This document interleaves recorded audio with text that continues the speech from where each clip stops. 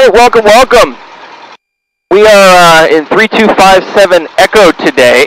Uh, new aircraft to fly Carolina. Brand new interior, brand new avionics, brand new engine. So, uh, purring like a kitten actually got that new airplane smell, which is really nice. Yeah. Um, yeah, it's been uh, been uh, about a month, a little over a month since I've flown. So today we're just doing some uh, some maneuvers, some just general air work, just for proficiency. Uh, we're going to go over to KIPJ, uh, and then we're going to go to a maneuver area, have a little fun, and come on back. So quick flight before work, 7 a.m., uh, rocking and rolling. You ready? Yeah. Anything you want to do today in particular? Uh, negative G's. negative G's. All right, we can we can do a few negative G's. Okay, here we go. Full throttle coming in. Everything's looking good. RPM's looking good. Coming off the brakes.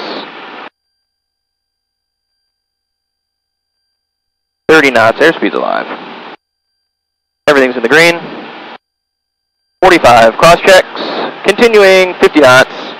55. Rotate.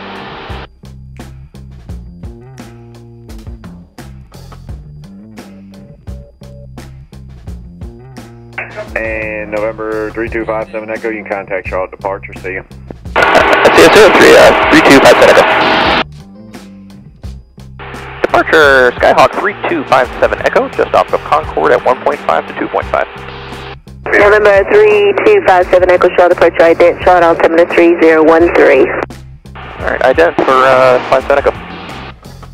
November 57 Echo, You're ready to contact about uh, one mile northwest of the airport. I'll show you 1,800.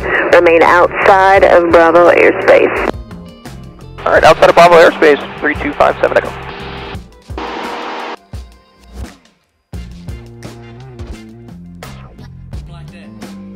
At 65. 500. 500 feet. We're looking good.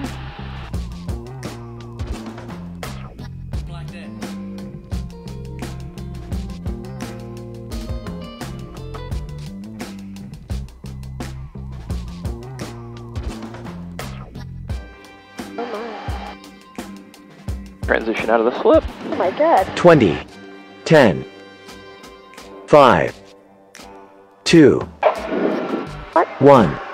1,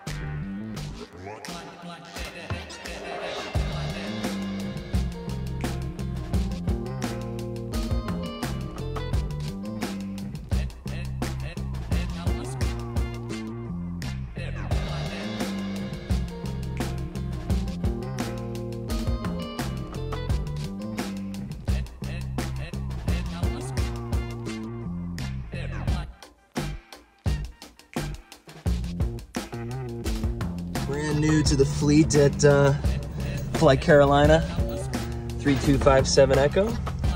Pretty much identical to 6574 Delta. However, I will say the new interior is pretty, pretty nice.